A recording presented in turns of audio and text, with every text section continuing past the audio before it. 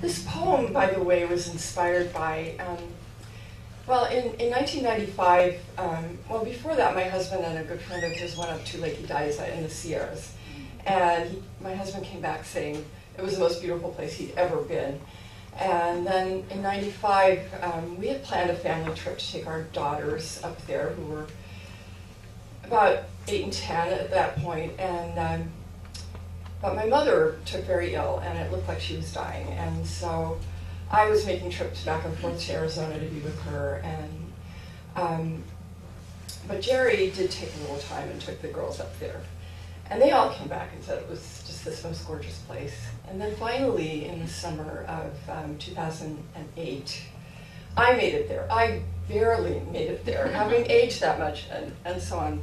It was really a hard hike for me, but I did make it.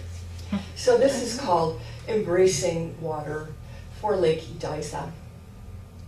Between darkness mountains and a brash white outpouring over rocks, a lake, queen among mountain lakes, a lake uh, captures snowmelt in her bowl, a lake impossible to hold, though she can grasp the moon with one hand, with the other fish for the sun.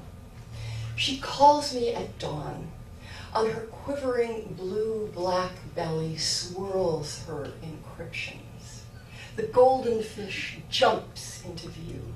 The mountains brighten to maroon, medieval minarets, a fan, a wooden xylophone struck by light, glowingly rubbed warm with polish.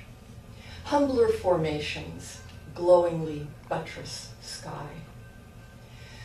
A bird instructs. Look at me. Look at every every leaf.